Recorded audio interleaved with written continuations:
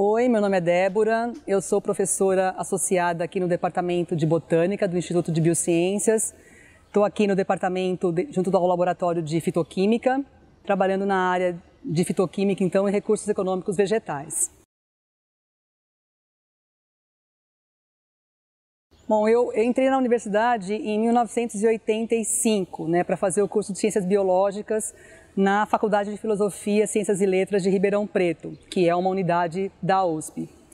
É, me formei em 88 em licenciatura e depois em 89 no bacharelado. Então, após esse ano, eu vim para cá, para São Paulo, e ingressei no mestrado em 1990 e defendi o meu mestrado em 1992. Então, naquela época, a USP ainda fazia concursos para pessoas que tivessem só o título de mestre, que foi o meu caso. Então, em 93, é, o departamento abriu um concurso na área de fitoquímica especificamente. Foi quando eu me inscrevi, então ingressei no departamento como docente em 1993. É, o que, que me fez escolher ficar nesse departamento? É ficar aqui, na verdade. Né? Eu, como eu vim para cá fazer a pós, ah, o que eu sabia, o que eu queria fazer, eu queria me dedicar à carreira acadêmica. Antes mesmo desse concurso na fitoquímica ou aqui no departamento, eu cheguei a me inscrever em outros lugares, né, que também abriram concursos para mestre, na Exalc, por exemplo, mas nem cheguei a prestar, porque a minha inscrição foi indeferida por conta da, da afinidade com a área. Mas quando abriu aqui era exatamente na, no mesmo grupo né, de trabalho ao qual eu já tinha acabado meu mestrado e fazia doutorado, então, na, na época, né? E foi quando eu ingressei. Então, a, a, a, ingressar no departamento foi a minha oportunidade de continuar na carreira acadêmica. Ainda bem que foi aqui, né, que foi nesse departamento, mas não foi uma escolha, ah, eu só vou entrar ali, eu só vou fazer faculdade ou trabalhar ali naquele lugar. Foi uma possibilidade que aconteceu.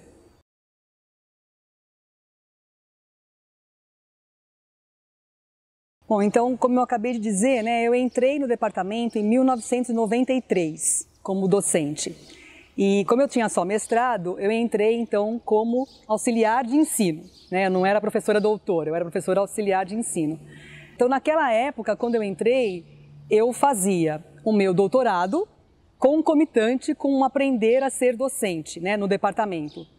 É, eu terminei meu, meu doutorado em 1998 então, até aquela época, até aquela data, eu não não não estava ligada à pós-graduação, porque a gente não podia orientar, obviamente, né? Eu não tinha doutorado. E eu comecei a orientar na pós-graduação em 2000. Também naquela época, para você orientar na pós, você era credenciado no programa para orientar mestrados e depois que você tivesse um mestrado concluído, você poderia se credenciar para orientar no doutorado. Então eu comecei a orientar doutorandos um pouquinho mais tarde do que 2000, é, 2003, 2004 mais ou menos. É, bom, então como eu entrei aqui como mestre, né, a minha passagem pelo departamento ela vai desde, desde uh, auxiliar, como eu disse, até o que eu sou hoje, na verdade a função que eu desempenho hoje, que é de professor associado. Então a minha, a minha progressão na carreira, né, o meu concurso para livre docência eu fiz em 2000 2015, né, há, cinco, há cinco anos. Então, essa é a minha trajetória aqui no departamento, nesses 20 e poucos anos, aí desde 93, ela passou por vários estágios diferentes, né? Então, é, a, a, a, minha contribuição com o departamento na parte de participação da sua estrutura, eu, eu, eu diria assim, foi sempre muito marcante, porque teve época que eu representava a mim mesma nas, nas instâncias burocráticas, digamos assim. Né? Não tinham outros colegas para que eu representasse. Então, só tinha eu de mestre, por exemplo. Né? Então, eu fui representante tanto no conselho de departamento, como também é, junto à congregação, durante, durante algum, alguns períodos, tanto como mestre, depois como doutora. E participei também de algumas atividades representando o departamento junto a algumas comissões, né? Por exemplo, na comissão de graduação, eu fui a representante da Botânica por seis anos. É, junto à comissão de Cultura e Extensão, também representei o departamento por seis anos. E agora, né, junto com a professora Gladys, é, faço parte da chefia do departamento já há dois anos e há dois anos e meio. Né? A gente acabou de ser reeleita para um, um, um segundo mandato. Então essa, essa é a minha trajetória, assim, a minha, meu papel na estruturação do departamento nesses anos.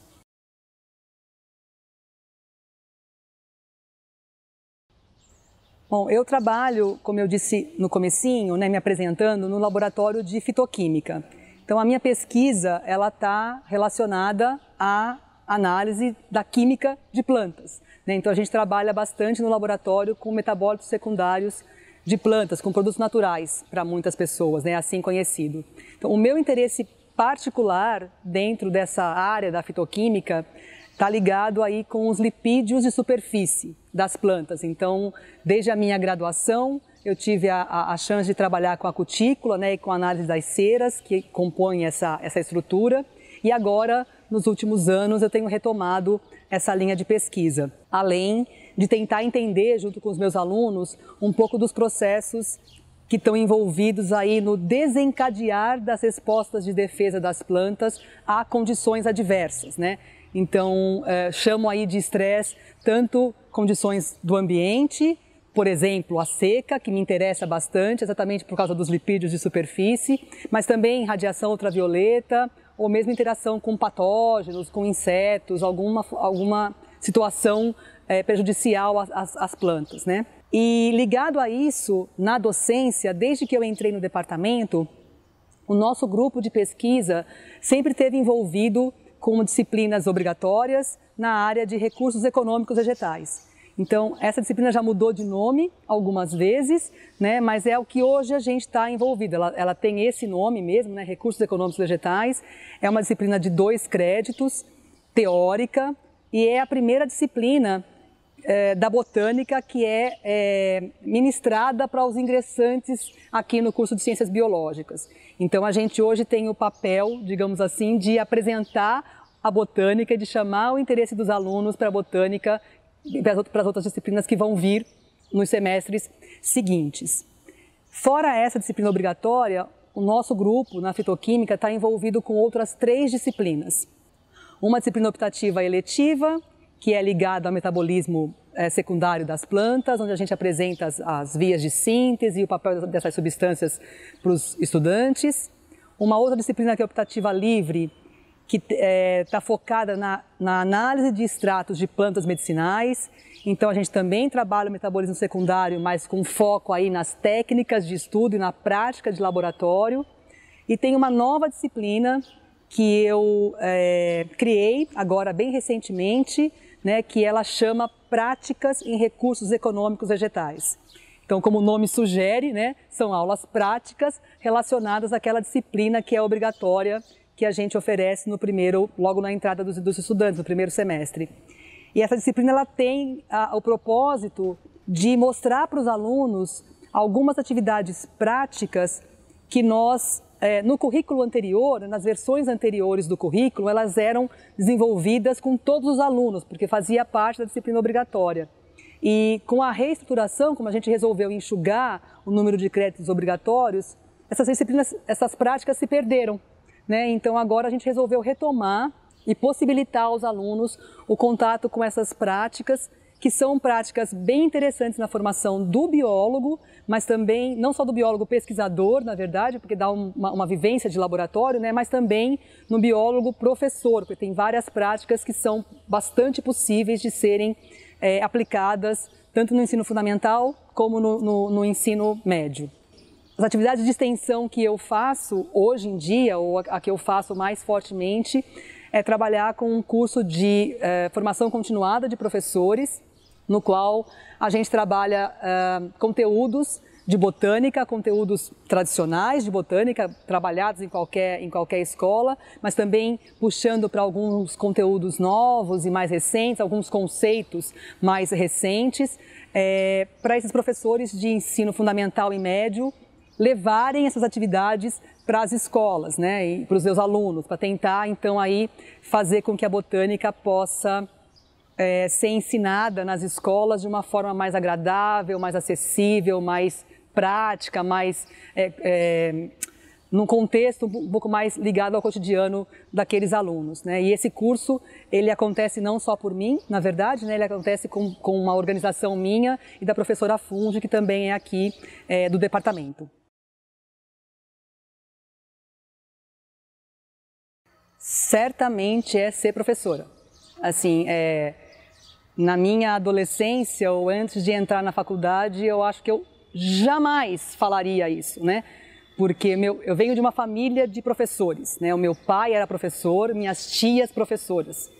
E exatamente por meu pai ser professor, eu achava aquilo um saco, né? Porque meu pai vivia ocupado corrigindo prova, corrigindo trabalhos. E como meu pai trabalhava na alfabetização de crianças, é, naquela época, né, muito lá atrás, é, alunos que precisavam de reforço, meu pai levava para casa no final de semana. Então, para mim era muito chato, né? Porque meu pai vivia trabalhando, dando aula, e aí chegava no final de semana que meu pai estava lá, tinha outras crianças ali no meio, né? E eu era, eu fui filha única durante muito tempo, então aquilo para mim era um saco. Eu achava ser professor muito ruim, né? Então era, era o que eu não iria fazer, ser professora. E a gente morde a língua, né? Quando a gente vai ficando mais velho. E certamente é, eu, eu adoro ser professora. Assim, é, ser docente para mim é muito estimulante.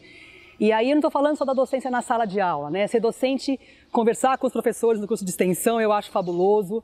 É, falar com os meus alunos de pós-graduação eu acho incrível.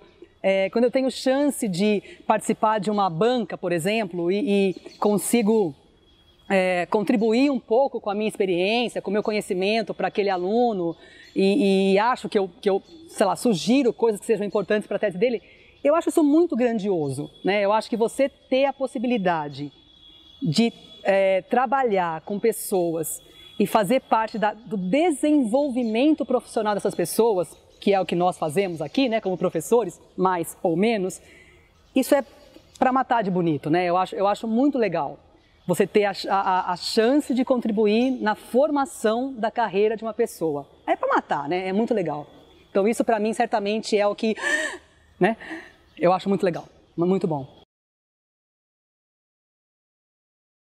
É, gestão, né? A gestão certamente ela é muito difícil. É, algumas pessoas têm essa habilidade natural, né? E eu acho que essas pessoas desempenham seus papéis muito bem. Os que não têm habilidade natural, e eu me coloco dentro deles, se esforçam para fazê-lo. Então, assim, esse, esse é o exemplo que eu tenho no departamento, um esforço de todo mundo para tentar contribuir. Mas é muito difícil, né? É, primeiro porque eu fiz biologia, eu não fiz gestão.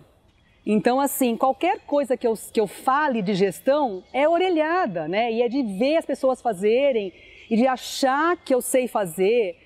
Então, toma muito tempo toma muito tempo, né? E então isso eu acho muito difícil, tá? Eu, eu acho bastante, bastante complicado. E a gente é avaliado hoje em dia por isso, né? Então, é, esse, por exemplo, é uma coisa que eu discordo veementemente, assim, é, é, é, colocar gestão como parte da nossa avaliação. Eu acho que ela pode ser parte da sua contribuição. Perfeito, acho que todos nós podemos contribuir. Melhor, menos melhor, é, é, é, mais ou menos, mas a gente ser avaliado por isso, né? Você ser pontuado por participar de gestão ou por atuar, eu acho isso assim o fim, sabe? Quando eu entrei na universidade era para atuar num tripé, não para não num quinto pé, num quatro pés, sei lá eu como é que a gente fala isso. Então assim para mim é, é, muito difícil. Eu acho, eu acho isso muito difícil. E também acho que hoje em dia a gente é cobrado de coisas de uma forma muito injusta. Né? Eu acho que a universidade e as agências de fomento elas estão uh, cobrando, é, apesar delas dizerem que a gente é avaliado num conjunto, né, pela sua atuação profissional. Então, no nosso caso, docência, extensão e, e, a, e, a, e a, pesquisa, a gente sabe que a gente, que a gente é avaliado o tempo todo como pesquisa, docência e extensão, né? Então, se você é uma pessoa que tem mais afinidade pela, pela docência, por exemplo, e você não tem o mesmo julgamento de uma pessoa que tenha mais afinidade pela pesquisa. E eu acho isso muito injusto, porque eu acho que tudo é importante de forma equitativa, né? Mas não é assim que a gente é julgado, a gente sabe disso. Então você tem que acabar, você acaba tendo que é, se adequar para poder responder ao jogo que está que tá sendo é, é, proposto para você, assim. Então isso para mim também é bastante difícil, me dá um certo desânimo em alguns momentos. sou tão ruim de falar de coisas que eu sinto orgulho de mim, mas assim, é... eu vou, vou, falar que o curso de extensão que a gente faz há 15 anos é motivo de muito orgulho para mim, assim. Apesar, de novo, eu, eu, gosto muito de dizer que essas coisas a gente não faz sozinho, né? É, é, é, é impossível fazer sozinho, mas eu acho que ter proposto, é, ter conseguido organizar e ter conseguido manter isso durante 15 anos né, é, é algo muito importante. Acho que a gente tem contribuído para fazer com que a botânica seja ensinada nas escolas de um jeitinho um pouco menos é, difícil, né? ou seja, mostrada para os alunos que não é tão difícil assim, tá? ou, ou melhor, que é tão difícil quanto qualquer outra parte da biologia, né? Que a gente sempre vê a, a botânica meio criticada e eu acho que a gente tem contribuído ao longo do tempo. E a hora que a gente que dá aula para os professores, chega no final do curso, o retorno que a gente tem é, é, é tão maravilhoso assim, é, é, uma, é, uma, é uma, uma, uma percepção do nosso esforço e de mudança no comportamento deles que faz com que eu acho que isso seja uma coisa que vai ficar marcado no departamento por um bom tempo. Assim, quando eu não estiver mais aqui, eu acho que as pessoas ainda vão lembrar que esse curso existiu e que pode existir, que vale a pena, dá trabalho, mas vale a pena. Eu acho que sim. O nosso departamento, eu ousaria dizer que eu acho que se a gente comparar com departamentos de botânica é, aqui do nosso estado e do nosso país, ele é um dos departamentos mais completos que a gente pode ter. Né? A gente tem profissionais aqui trabalhando em diversas frentes, né? e frentes é, é, extremamente essenciais para um biólogo. Então a gente tem aqui as pesquisas básicas mais essenciais na formação de um biólogo para se falar de botânica como a gente tem pessoas aqui trabalhando com tecnologias de super ponta, de muita aplicação e biotecnológicas também, convivendo no mesmo departamento. Tá? Isso não é, é algo tão comum. Né? Aqui no IB mesmo, se você, se você reparar, é, o que os outros quatro departamentos fazem, nós fazemos na botânica, com plantas. Né? Então, os outros quatro departamentos, à exceção da ecologia, é, trabalham com bicho. Né? Na Eco você tem algumas pessoas trabalhando com plantas, mas os outros todos trabalham com bicho. Então a botânica aqui faz o que o Instituto faz, né? no nosso departamento. Então por isso eu acho que a gente uh, tende sempre a ter destaque. Né, no país e fora dele. Muitos colegas têm, têm projeção internacional muito, muito forte. Né? Então eu, eu vejo a gente sempre crescendo, né? É, eu espero que a gente possa crescer uh, harmoniosamente nos próximos anos, né? E crescer em termos de, de colaboração. Eu acho que isso é uma coisa que a gente talvez ainda possa melhorar. Se eu tivesse que dizer o que, que a gente pode melhorar, eu acho que se a gente conseguir é, maior integração entre grupos no departamento, é, ou se a gente conseguisse se olhar menos como um grupo A ou um grupo B e olhar o, o, a essência e, e, e, o, e o sucesso do departamento, eu acho que a gente ganharia mais. Mas, de qualquer maneira, certamente eu vejo nosso departamento mantendo o destaque que tem. Né? Acho que a gente já é, é, é, um privilégio para a gente entrar nesse departamento como ele já é. Então, quando eu entrei lá, há vinte e tantos anos atrás, o departamento já era reconhecido né, já era um ótimo departamento. Então, é, é, hoje, certamente, ele é ainda mais reconhecido, né, e, e acho que vai continuar assim pelos próximos 5, 10 anos, com certeza, com certeza. Trabalhem com afinco é, e com honestidade e com muita perseverança, eu acho. É, porque pedra no caminho vai ter de penca é, de penca. Assim, eu costumo dizer para os meus alunos de pós que a gente vive de nãos, né? E de vez em quando tem uns sims. E quando esse sim aparece, parece que todos os nãos que vieram antes você esquece instantaneamente. Né? Então eu acho que a gente tem um privilégio fabuloso de trabalhar numa área do conhecimento incrível. Né? Então, eu sou uma bióloga inveterada, eu adoro ter feito biologia. É, se a gente optar pela botânica, estamos num departamento fantástico, né? então temos a chance de ter conhecimento com colegas fabulosos, então aproveitem para dividir conhecimento com seus colegas e aproveitar dos, dos professores. E, e, a biologia em si te dá uma possibilidade tão gigantesca de trabalhar com coisas tão legais, né? Então, para mim, eu acho que, sendo direta, é trabalhem com honestidade, sabe? Façam o seu trabalho honestamente. Então, faça o seu trabalho o melhor que você puder, todo dia. Né? Então, o que você fizer amanhã pode ser muito melhor do que você fez hoje, mas você tem que olhar para trás, para o ontem e falar: nossa, eu fiz o meu melhor. Pode ser nada, sei lá, pode ser muito pouco para outro, mas para você, você tem certeza que é o melhor, porque daí, na hora que aparecerem as pedras, você fala: ai, que saco, essa pedra, ok, mas vamos, bora, vou, vou de novo, vou de novo. Então eu acho que é isso, é uma honestidade grande e uma, e uma clareza grande dos seus objetivos. Isso faz você olhar as pedras de uma forma mais leve.